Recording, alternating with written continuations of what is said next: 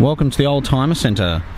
My name is Philip Tarrant, and I'm going to talk to you today about this 2012 Audi A4. And despite being a 2012 model, it's quite literally in as new condition.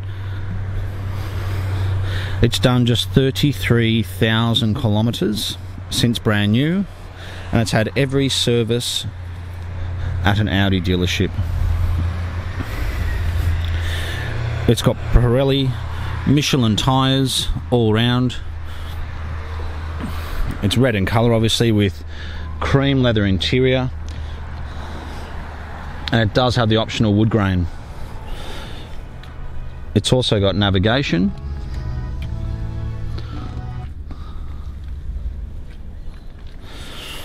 Two keys.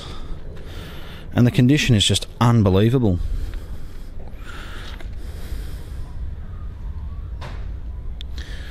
It dries perfectly. It's got an Audi sticker on the window. Let's have a look. It's saying the next service is due at 42,000 kilometres. There's the navigation. It's got Bluetooth as well.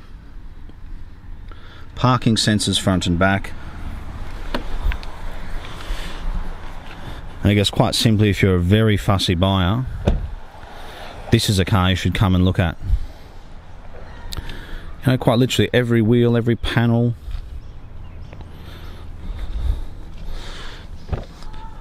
is in immaculate condition. The back seat quite literally does not look like it's been sat in before.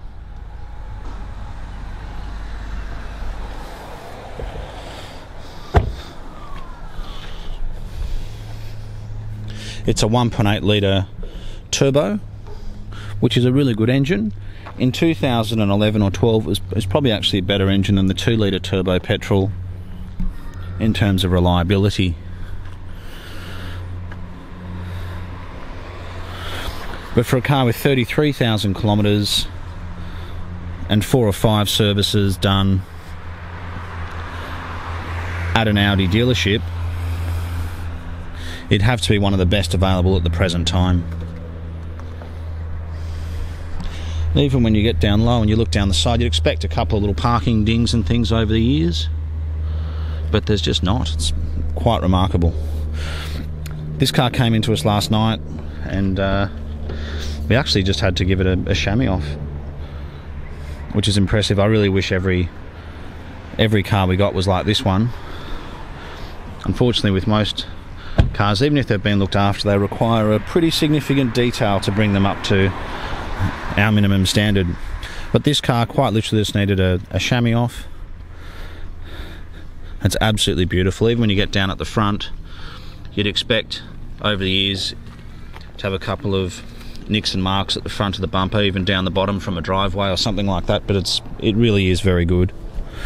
It's got the original wheels on it, which I think is also a good thing. Some people put 18, 19, 20 inch wheels on them which they may think look great, but it puts unnecessary pressure on all the suspension components.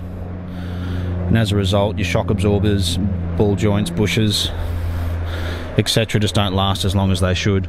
And with a lot of manufacturers who sell new cars, if a car's had much larger wheels put on it, it actually it actually voids the warranty, especially on things like you know Land Rover, Range Rover. But this is a very impressive car. I think it needs to be seen to be appreciated. Know, and despite being five years old,